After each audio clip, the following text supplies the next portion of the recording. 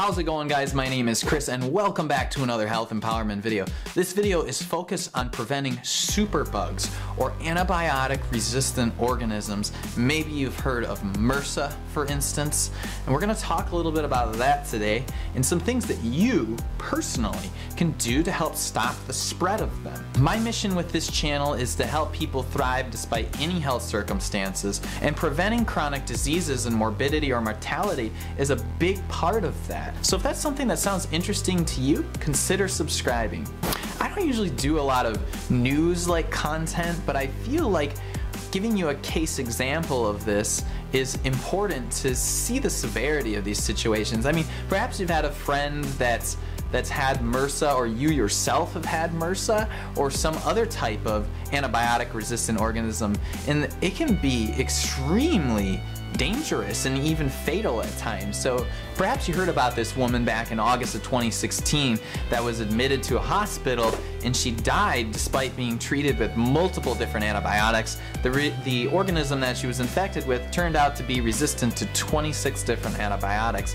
And the reality is that we are running out of antibiotics to keep up with the way that these bacteria and different organisms are becoming resistant to them at an alarming rate. And there's a lot of reasons for this. And, and if you stick with me, you'll see the way that we can approach this to at least slow this down and potentially stop from creating more of these super bugs because it's a big issue for our health it's a serious issue for our safety and we don't want to end up in a doomsday type scenario. I know I'm sounding like a, a, whistleblower here and that's that's not my intention but it is a it is a reality and people die a lot of people die every year in the hospitals uh, or or elsewhere because of antibiotic resistant organisms such as MRSA or, or other types of re resistant organisms. Surprisingly, a lot of organisms we consider to be hospital acquired infections originally started in a confined animal feeding operation.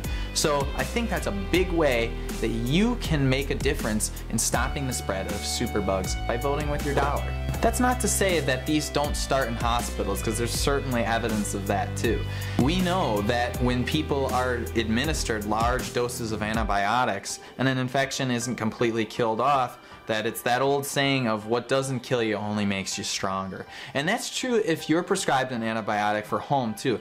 Now, I'm not I'm not a fan of antibiotics a lot of time because they're overprescribed, but there are times where they're certainly necessary. So if you're prescribed an antibiotic, you really have to finish the entire antibiotic as prescribed because if you don't and the infection isn't completely killed off, then it's going to find ways to adapt through various different mechanisms that are well beyond my understanding and is way beyond the scope of this channel anyways. But what we do know is that if you are not killing off the infection entirely, it's going to find a way to become more resistant to antibiotics. The unfortunate reality of going into a doctor's office with symptoms that may resemble a cold is there are a lot of cases where an antibiotic will be prescribed even when we're not sure if it's bacterial and even if we're not sure if one's really necessary because a lot of physicians just don't have the time or don't want to, for whatever reason, culture the patient whether because it's cost or things like that.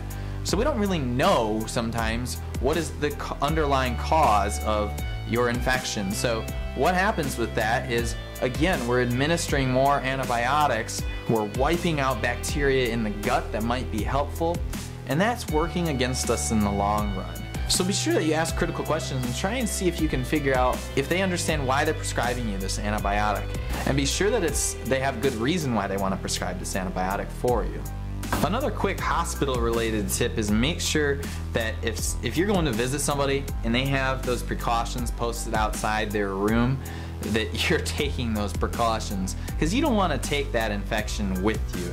You don't want to bring that further out into the world and then spread it even further. So make sure that you're taking the right precautions when you go in to visit somebody in the hospital. Lastly, there's the controversial topic of antibacterial soaps and whether or not you should use them or you should just use regular soap. Now the reality is if you use a regular soap, you lather well and you truly scrub your hands for 20 seconds at least, 20 to 30 seconds. That's longer than you think it is. If you sit down and you really count it out, then there's very little chance that you're gonna have any organisms surviving on you because it's the friction that's going to get most of that off.